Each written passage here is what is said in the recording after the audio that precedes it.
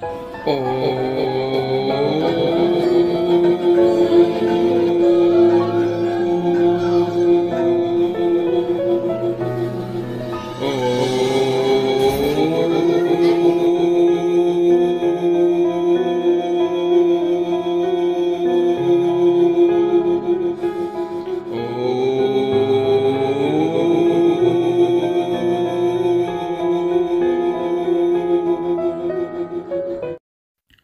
जय साई राम नमस्कार। आज मैं ब्रिज मंसूरी आपको मंगलवार का उपाय बनाने वाला हूँ। मंगलवार को क्या उपाय होना चाहिए और कैसे करें, ये एक सवाल अपने आप में ही इसलिए बनता है क्योंकि मंगल बहुत अधिक प्रभाव रखते हैं हमारी ज़िंदगी में। हम जब किसी से बात करते हैं तो हम में जो गट्स होते हैं, यानी हम में जो हिम्मत होती है, वो मंगल हमें देते हैं।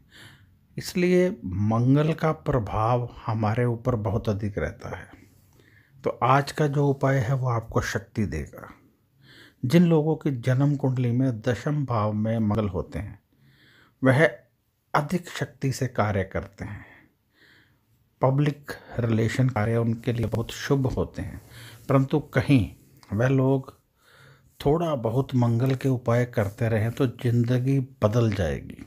ऐसे ही जैसे किसी के चंद्रमा चौथे घर में हो और बार दसवें घर में भी कुछ ना कुछ बैठा हो तो ऐसे व्यक्तियों के राजयोग बन जाते हैं। यही तो मैं आपसे कहना चाहता हूँ कि जब जन्म कुंडली दिखाई जाती है तो उसमें ये देखा जाता है कि राजयोग कहाँ पर अटक रहा है। मान लीजिए चौथे घर में चंद्रमा है और दसवें घर में कोई ग्रह नहीं है, राजयोग खाली है। तो हम कोशिश करेंगे ऐसा उपाय करें जिससे चौथे घर में किसी उपाय की एक तरह से उपस्थिति हो जाए, यानी वैसा ही फल मिल जाए तो राजयोग बन जाता है।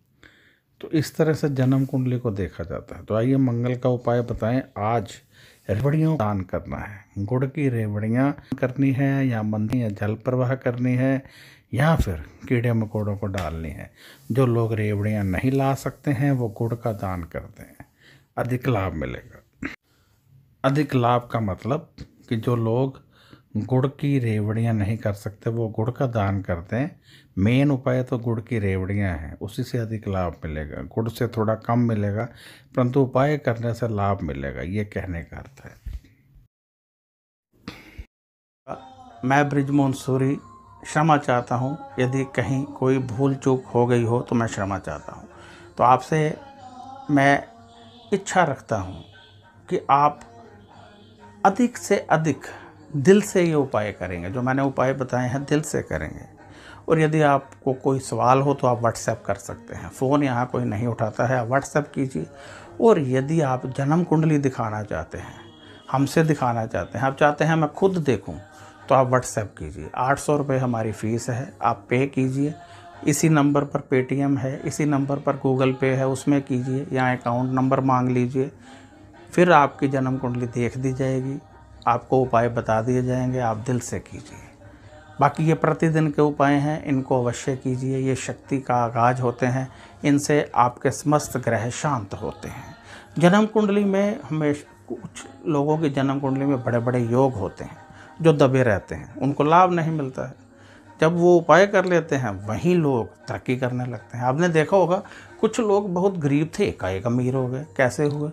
क्योंकि उनके निवास में किसी ना किसी के घर में कोई ना कोई योग होता है, उनको पता नहीं होता, जैसे ही पता चलता है वो उसका उपाय करते हैं, ग्रह काम करने लगते हैं, धन तेज़ी से आने लगता है। तो हो सकता है आपकी कुंडली में भी कोई योग हो। हो सकता है आपकी कुंडली में अमीर बनना लिखा हो, नाम कमाना लिखा हो, एक्टर, गायक, सिंगर बनना लिखा हो, परिवार का सुख लेना लिखा हो, परंतु आपको नहीं मिल रहा है क्योंकि योग नहीं है या योग एक्टिवेट नहीं है। जब कुंडली देखेंगे, उपाय निकलेंगे, तभी पता चलेगा। तो अब इजाज़त चाहता हूँ। नमस्कार, खुश रहिए और अपना ध्यान रखिए।